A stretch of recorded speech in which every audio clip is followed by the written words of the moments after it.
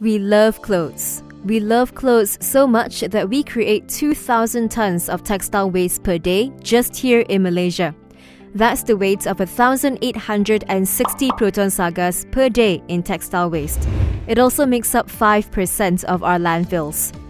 To help solve this issue, textile donation bins have been popping up around the Klang Valley in the past few years. And one of the main players behind these bins is Kloth Cares. If you go to any any government offices, what do you realize? The recycling bins, right? So what do you have there? You have the metal, you have the plastics, right? But you don't have the fabrics. Fabrics in Malaysia are not really recycled. People dispose that inside the garbage bin or they give donations. But by the end of the day, no one person can tell us that hey, it does not go into the landfills. The cloth Kloth Cares movement started because Susie and her co founder, Sarah, couldn't find an answer to the simple question what happens to the clothes Malaysians throw away? So, we have clothes we don't want anymore.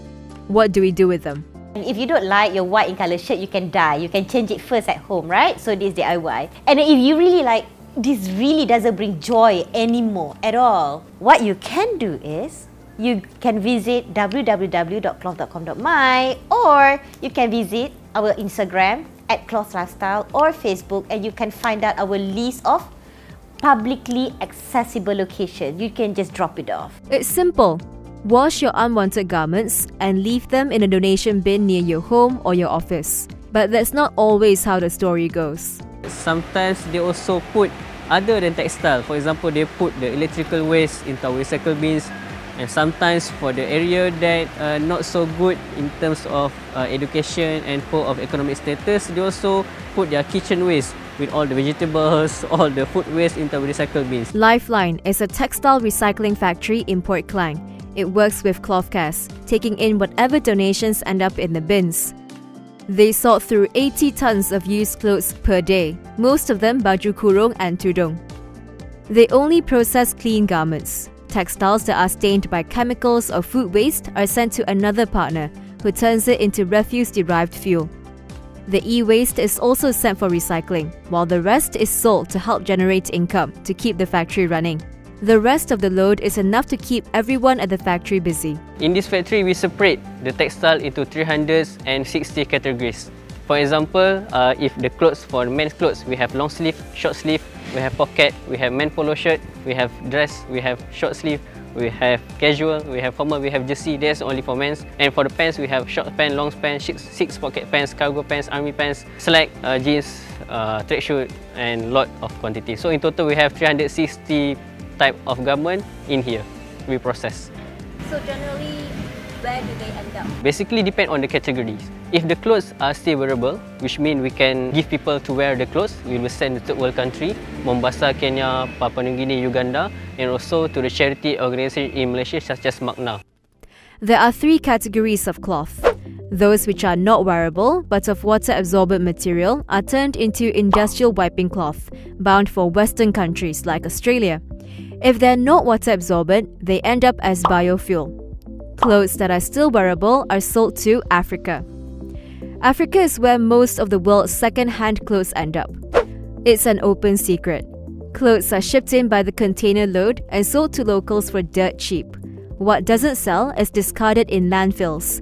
That nice jacket you can't fit in anymore could end up in a trash pile in Kenya. But why are they selling our donated clothes to other countries? Because uh, in here, we are a business organization, which means we still need to take care of the profit and revenue. Plus, we have 350 workers to be paid their salary for. Right. But sometimes people say, oh, you take the cloth for free and you sell it.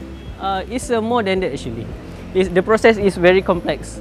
Be behind the beans is a very huge uh, process here.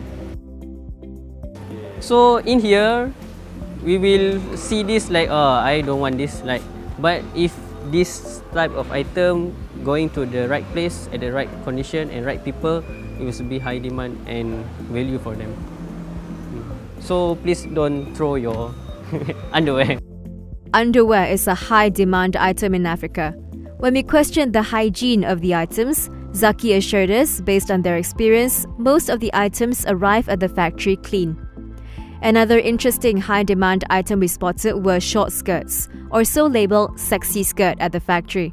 Most of them are destined for the Philippines. Despite the ethical dilemma of selling donated clothes to third world countries, giving our clothes to charity homes doesn't seem to be the answer either. For Malaysia, they only expect the used clothes only end up at the charity home. So when they give a huge pile of clothes to a charity home, it will end up there. So it's uh, not a very transparent story. Actually, for the charity home, they only can process about 50% of the clothes being donated. So basically, the balance 30% will be thrown to the landfill. At the end of the day, this mess we're in with our clothes all comes back to our consumption habits and our attitude. The problem that we have here is basically people like me, likes the volume, big support of fast fashion. So how do you recycle that? Number one is about how you keep it at home inside your wardrobe. After you wash, what you're gonna do with it? You dry it and you you iron it and then you hang it nicely. Because by the end of the day, wardrobe is about mindset. According to the 2015 documentary The True Cost, across the globe we buy 400% more clothes today than we did 20 years ago, largely because of how cheap fashion has become. The spring, summer, autumn, and winter fashion seasons no longer exist. It has been replaced by new styles that pop up every other day. Clothes that are made of thin material but look so great in the store's lighting that we buy it without a second thought. But maybe it's time we had a second thought, or a third.